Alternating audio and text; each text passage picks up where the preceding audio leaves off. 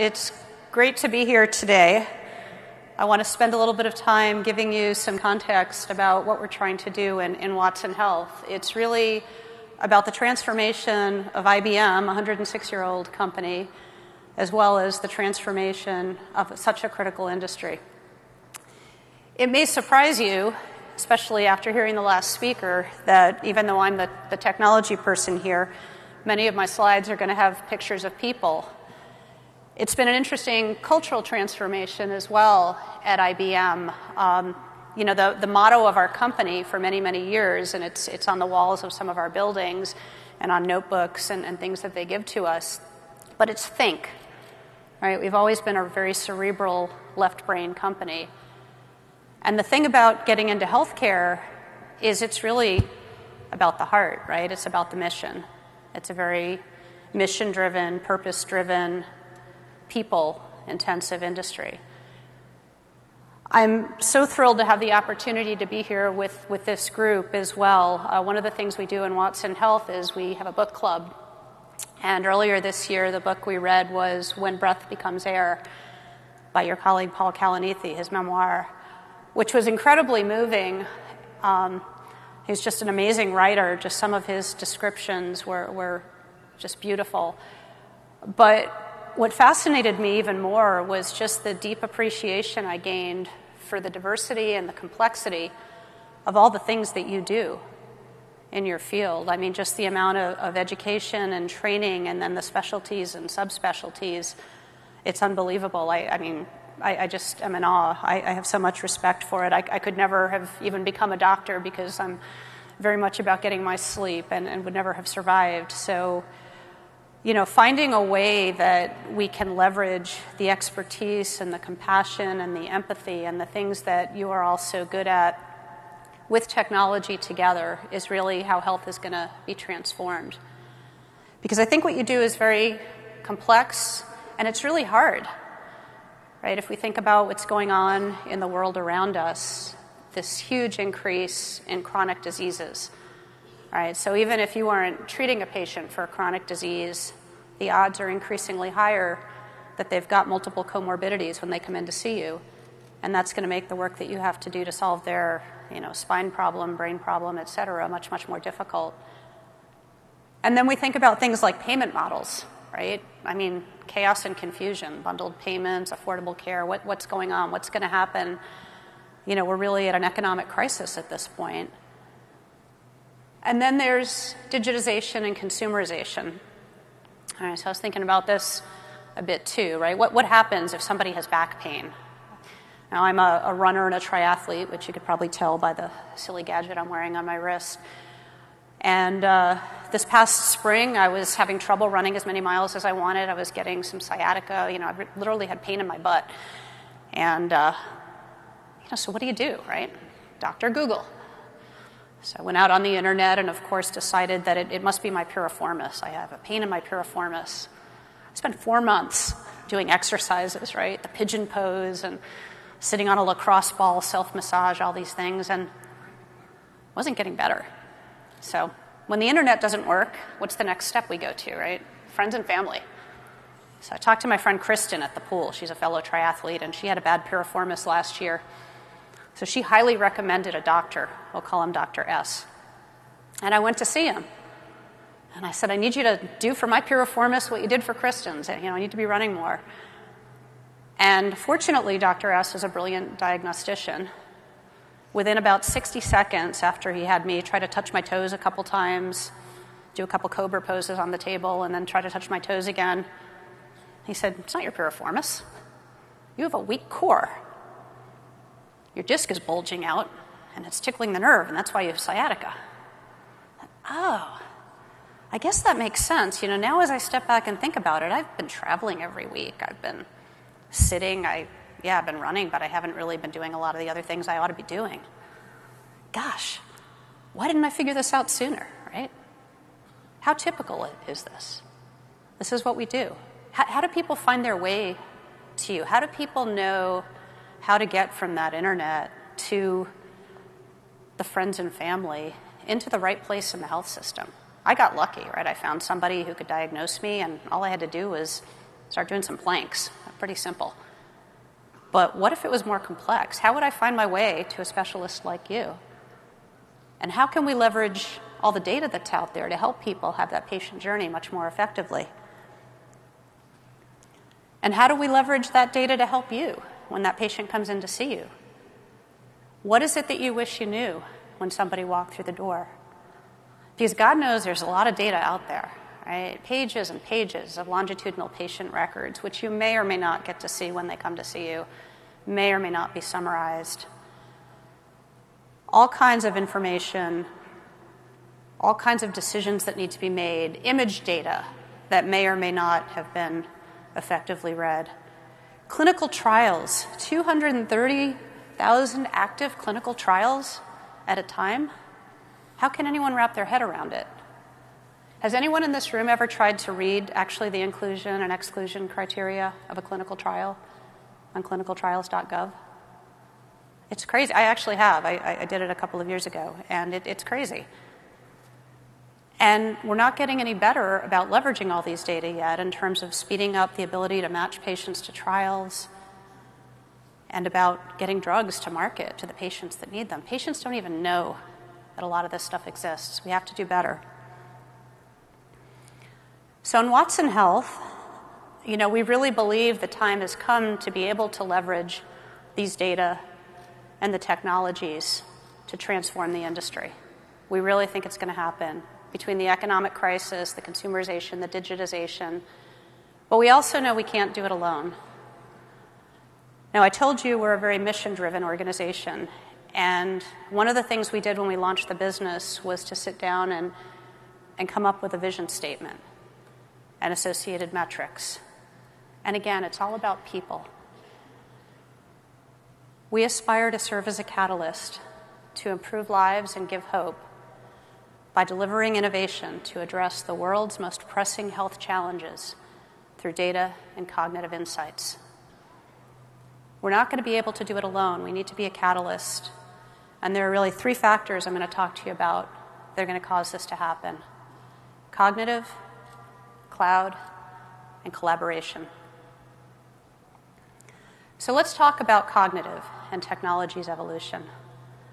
IBM is 106 years old, and when we first started out, the early era of computing was really about counting. Computers were used for things like the census, right? We call that the tabulating era.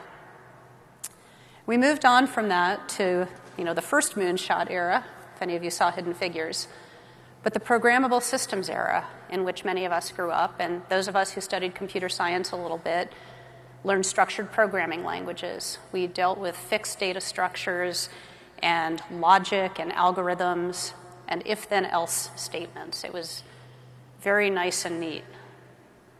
But we're not in that world anymore, right? 80% of the world's data that's being created so, so quickly is unstructured. And so we've now entered a new era, which we call the cognitive era. And we like to think that that era was born in, in February of 2011 when the computer Watson played on the TV show Jeopardy.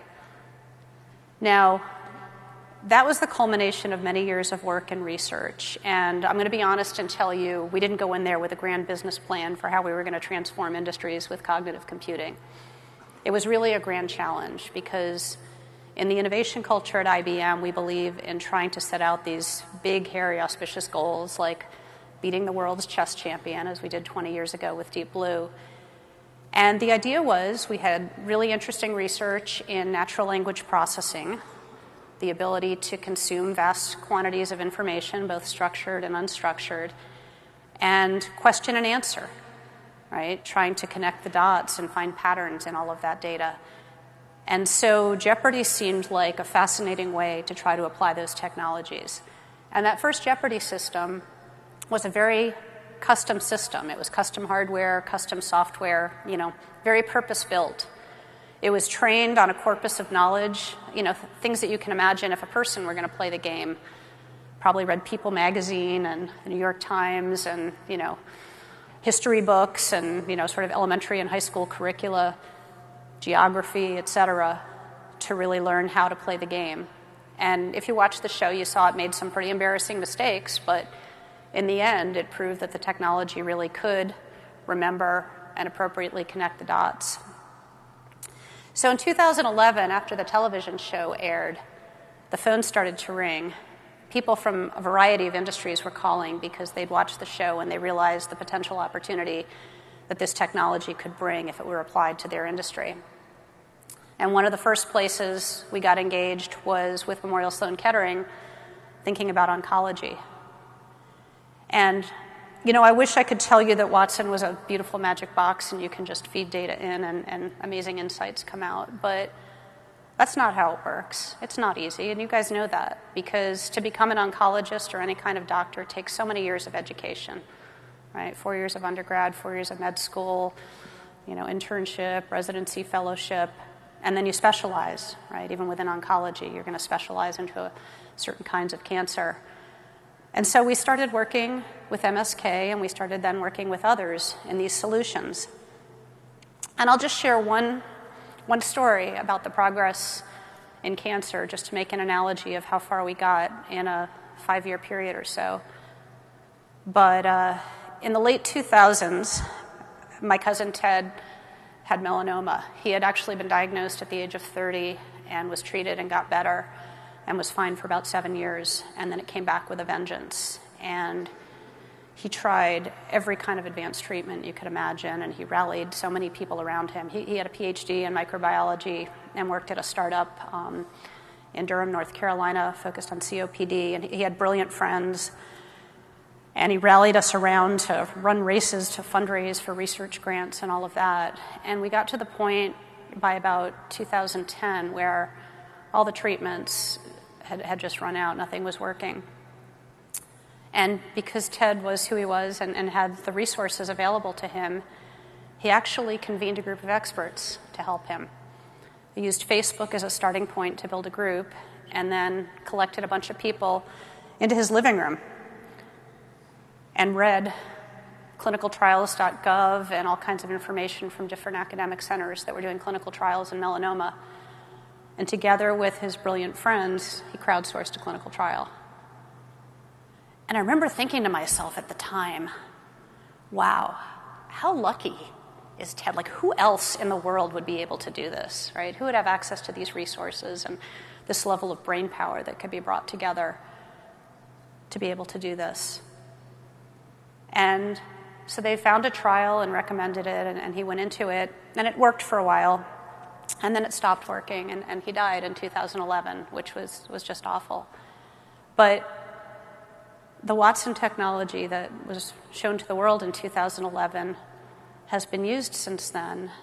And today, if you're a breast cancer patient and you go to the Mayo Clinic, every single person going through there with breast cancer is screened for potential participation in a clinical trial.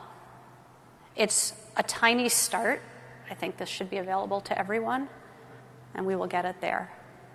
But isn't that how the world should work. This, this is just one example of the possibilities of cognitive technologies because people are not going to get into trials if we don't have technologies to make it possible. So, when we talk about technology, what do we mean? What is cognitive? It's not just these black box neural network models that you may be reading about when people talk about deep learning, but it's really a core set of technologies that can ingest data, structured and unstructured, develop context, make connections, find hidden patterns in the data, generate hypotheses and update them based on evidence. And the scale that this can be done is just immense. It's faster, deeper, broader than, than a human can. Watson can read things, and Watson's not going to forget. However, it's not going to replace humans. It's going to augment and enhance what humans can do. Because, exactly as Jeff was saying earlier, empathy, emotion, that personal connection, that's required. We can't do this with just technology. It requires a deep partnership. And what we need to do is transform the technology so that it's not a barrier to the ability for a physician to interact with their patient, but that it enhances the experience, that it provides a shared conversation about options. Imagine today an oncologist using our Watson for Oncology solution, which reads in the longitudinal patient record and all the information about this woman with breast cancer and makes recommendations about evidence based treatment options and potentially clinical trials. Facilitates a conversation between that patient and the oncologist looking at the screen that shows the options. And then maybe the conversation leads into a discussion about side effects of these different options. And the woman says, You know, my daughter's getting married in three months, and I don't want my hair to fall out. I don't want to have to wear a wig to my daughter's wedding. Let's together choose a treatment path that not only is going to lead to a good outcome, but also is going to mitigate the side effects. That's how we have to structure these partnerships between people and technology. So I said the second factor, besides cognitive, was cloud. And why does cloud matter? Well, it's about scale, scale and access. So that first Watson system was a very purpose built, special built computer, customized hardware, customized software. We very quickly learned in those early years that if you're going to build a custom, purpose built, huge system for every single use case in every single industry, it's going to be very expensive and you're probably not going to sell a lot of them. So we realized we needed to go to the cloud and we needed training material. So, what we've done since we lost, launched Watson Health two and a half years ago is to develop a purpose built, industry specific cloud with a huge repository of data, one of the largest repositories of health data, claims data, and other kinds of data in the world. It's HIPAA enabled, it's GXP enabled, so life sciences companies can come in and, and build things that are medical devices on it. We made some acquisitions. Uh, Truven Health Analytics, which brought us access to 200 million lives worth of claims data. Explorys and Phytel, which generated over 100 million lives worth of patient data. Merge Healthcare, you know, vendor neutral archive, and billions of images. And then we have access to, you know, PubMed and Medline and patent databases and all kinds of other data, including things that we talk about as exogenous data that sometimes affect health, things like the weather, because we bought the weather company, and, and it actually turns out that the weather can have an effect on, on your health in some cases. And so this is all put together in a cloud platform with tools and technologies because we took that original Watson system and we actually decomposed it into building blocks. You know, think about a Lego structure that gets taken apart into pieces. And now we can use those pieces to put things together and build new solutions. And this is really where the third C comes in the collaboration, because you guys know healthcare is so big and complex that one company is not going to transform it alone. It really requires building and enabling an ecosystem and so the way to do that is, is to make the combination of the data sources and the technologies available to be rebuilt into solutions. And that's what we're doing. This is where the collaboration piece comes in. So, one of the use cases, uh, yeah, radiology is a, a, tough field. Right? I'm told that radiologists uh, don't enjoy their job very often because they sit in a dark room all day with lots of images scanning by oftentimes using software that they didn't get to pick themselves, right? Because it's because it'd still be tied to the machine that was used to take the image. So we had been doing work in IBM research for about 10 years on image analytics, uh, specifically focused on cardiac and breast imaging at two of our global research centers. And we realized that if we wanted to help build solutions that would make a radiologist's job easier, provide them more context and help and insight into where they should be looking. Again, we weren't going to do it by ourselves. So we had technology and we had access to some data, but we really needed more. And what we've done is set up what we call the Medical Imaging Collaborative. It's up to 31 participants now, combination of academic research centers as well as industry participants, because what we need are people that have access to data, people that really understand imaging relative to certain parts of the body and where the solutions can be most valuable. And we also need a channel and a route to market because all the technology in the world isn't going to be useful if it doesn't get injected into the workflow. So we've got companies like Hologic and McKesson that are part of this, even though they also compete with Merge, the company we bought. Doesn't matter. We, we want to create an ecosystem. And within this group of 31, they're working together in small groups to build solutions that can bring in analysis of the image, plus analysis of information from the patient record to hopefully provide the radiologist with a lot more context where to look, what to do, what recommendations to make. In another area, closer to where, where you guys work, um, drug discovery, drug repurposing, Parkinson's disease. There's a lot of discussion about alpha synuclein playing a role in Parkinson's. And, you know, a lot of drugs have been discovered already. There's a lot of information out there, there's incredible patent databases and publications and so forth. There's a lot of information to crawl through. And this particular group at the University of Toronto was interested in, in looking at candidates for drugs to potentially figure out where they could target their research. And yeah, they could have sent you know a lot of research associates off to read papers and study for weeks and months. But instead, they used our Watson for Drug Discovery solution to crawl through and make recommendations. And we generated hypotheses about potential candidates which have surfaced some very likely candidates that they're now researching in the labs and showing a lot of promise. So, again, something that computers can do better than people, but they can help people be more effective and eventually lead to a solution much faster than if they'd done it by traditional means. Diabetes. Gosh, this is a great data driven disease, right? A lot simpler, probably, than a lot of the things that you deal with.